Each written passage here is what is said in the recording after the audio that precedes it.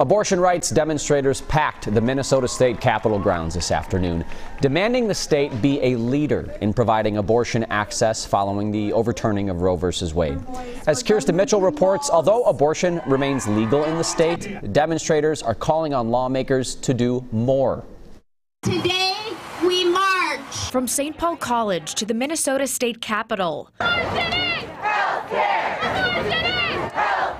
Abortion rights demonstrators demanded the state to be a leader in abortion access. It feels really empowering and it also makes me sad for um, what we have to fight for right now. Cousins Sarah and Laureen said they came to show young people they have support. I had an abortion in my early 20s, and even though it was legal, it was still a hard, scary, lonely process. I hope people know that there are people supporting them. Abortion right activists are also celebrating a major victory when a district judge last week ruled that several of Minnesota's state laws restricting abortion were unconstitutional. It's good news, and there's always more we can do.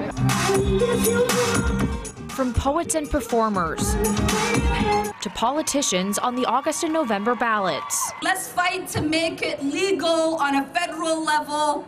Let's fight to make sure we don't take a step back.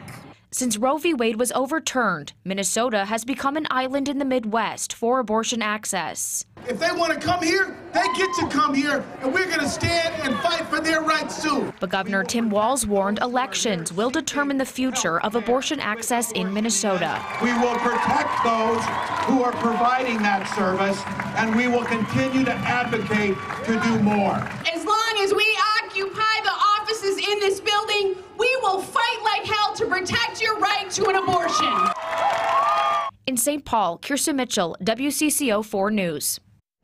Kirsten mentioned a ruling last week. A district court struck down several abortion restriction laws. Those include a 24-hour waiting period, parental notification, and disclosure of certain medical information before the procedure. Minnesota citizens concerned for life released a statement ahead of today's event, saying in part, quote, our state can do better than this vision of no limits abortion. We can do better to support and empower women and to value and protect children.